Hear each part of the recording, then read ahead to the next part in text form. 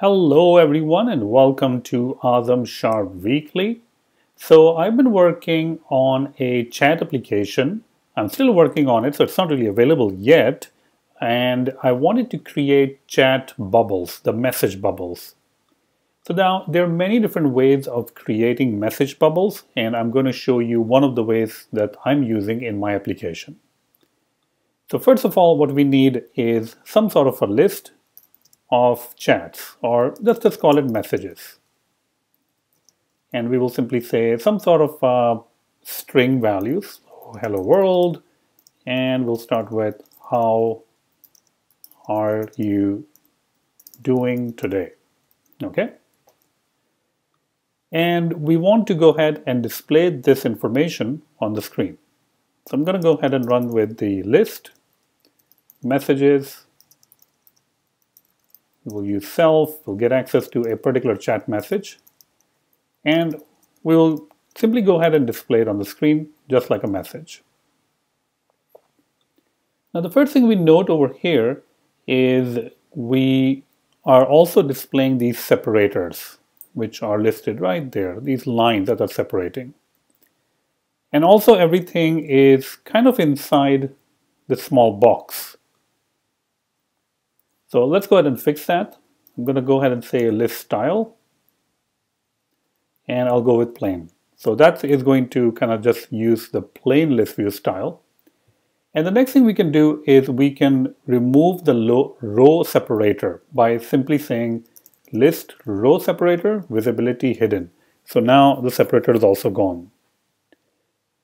Next thing we need to do is we need to pad up our text. Uh, we need to style it to kind of look like a bubble, right? So how can we make sure that this looks like a bubble? So we can go ahead and say padding. We can add some padding to it. Uh, we can go ahead and by the way, this is not the only way. I mean, you can use shapes and paths to create that and you can get animation features with that. But I just wanted to create like a something like which is really simple. There we go. So we got our you know, the background color also over here. Let's go ahead and change the foreground color too to be white. And now we can go ahead and clip the shape. So clip shape, rounded rectangle. Corner radius, this is up to you, whichever corner radius you want. And continuous for nice smooth corner radius. Okay, looks good.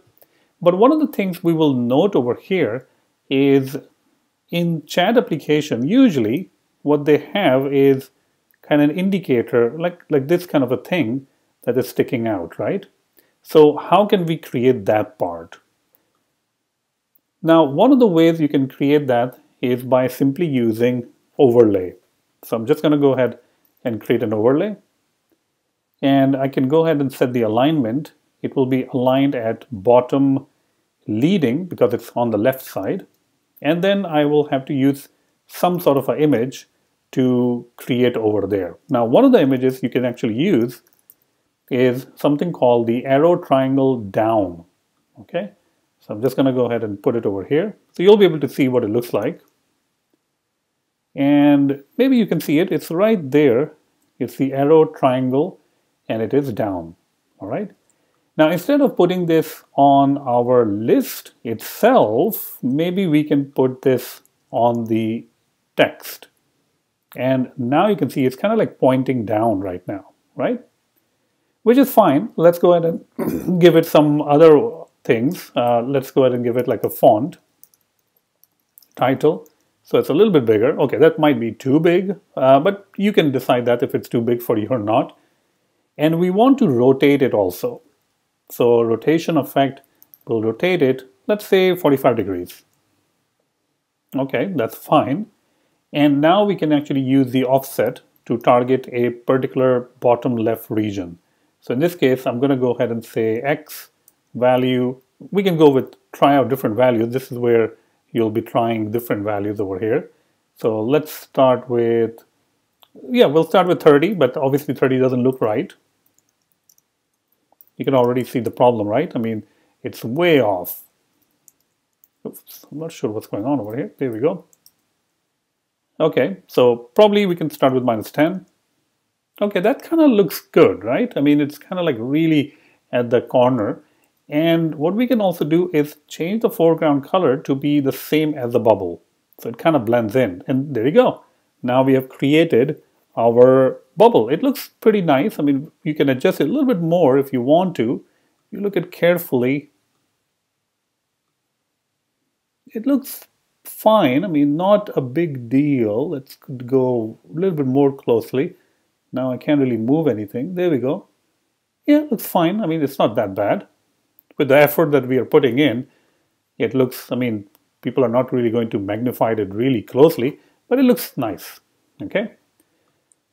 Now, sometimes the bubble or the arrow will be on the left side and sometimes it will be on the right side because we might have to create some bubbles that are for you and just like WhatsApp, it will be on the right side, not on the left side.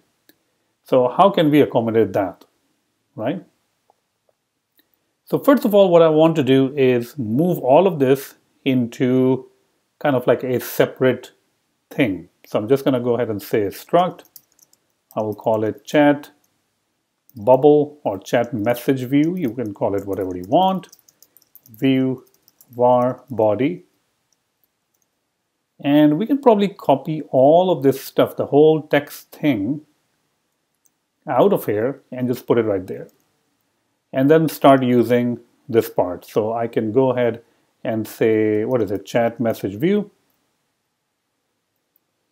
and pass in the message, which it doesn't really accept right now. So we'll have to go to the chat message view and add that. So we'll say message, which will be simply a string. The output should be the same thing because we haven't really done anything to it yet. It still displays the same thing. Another thing that we can add is the chat message direction, which means that which direction should we show this arrow thing. And we can also add the direction to our message view. Now the chat message view will also have some other stuff like the username and all that stuff, but we're not really doing that. So direction, I'm just gonna go with left. Okay. Now we have to perform some stuff over here because based on the direction, we will have to put this bottom leading or bottom trailing. So over here we can say that if the direction is left, then use bottom leading, else use bottom trailing. But apart from that, we also have to switch some other things. So let's say that if I do set this direction to be right, you can see that it's moving over there, but it didn't really switch out the actual arrow. It's still pointing on the left side. So this is where we can actually change the degrees part of it. We can say direction. If it is left, then we will say 45. Else we can try out minus 45 and see how that looks. Okay, looks good, but uh, probably we have to move this part also a little bit. All right. So I'm going to say over here, if the direction is left, then go ahead and use 10 or else use, uh, not sure, 30 maybe? Okay, 30 might be too much, 20? Okay, how about 10? Okay, 10 looks pretty good. All right, and there you have it. We have created our chat message view. It's a bubble, and we can change the direction of this bubble also just by changing it right over here. I can go ahead and say left. Looks good. I can say right. And it looks good too. I mean, you can adjust it a little bit more if you want to, but if even if I go and closely look at it, it kind of looks fine. I mean, it's not like too bad or anything. All right. So with only few lines of code, we're able to create these kind of bubbles uh, just by using a text view and by creating an overlay based on the arrow triangle fill. Now, if you do find some other image system name that actually appears much better, you can always take a look at the San Francisco symbols. That's the, uh, that's the application where you can find all of those different things. So you can definitely use this application. I think if you search for arrow, you may be able to locate those arrows that I'm using. All right. It might be somewhere down there. Let's see. Yeah, it's kind of hard to see over here, you can see, but I can search with the name. Oh, here we go. So these are the arrows that I'm talking about. I think the one that we are using is kind of like this one. Yep. All right. So there you have it. We can create, easily create chat bubbles with a little bit of a trick using an arrow uh, image, which kind of blends in. And that allows us to create chat view. Now, this is not the only way, obviously. You can use the path, and most of the tutorials will tell you to use the path. We can use that. That's perfectly fine. But that is another way of creating really nice, simple chat message view chat bubbles. If you like this video and want to support my channel, then the best way would be to check out my courses on Udemy. You can see that I have a lot of courses, including the brand new course on creating the reminders application. So this is a great course which will tell you local notification. It will use core data with Swift UI and a lot more stuff.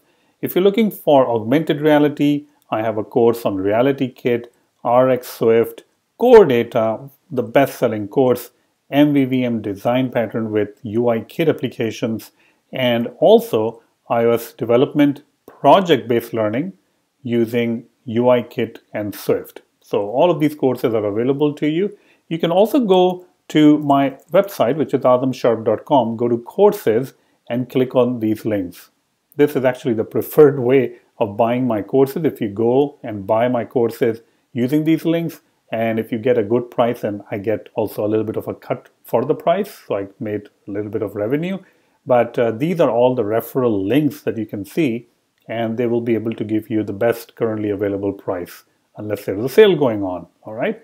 So there you have it. Uh, definitely check out my courses. Thank you so much for your continuous support.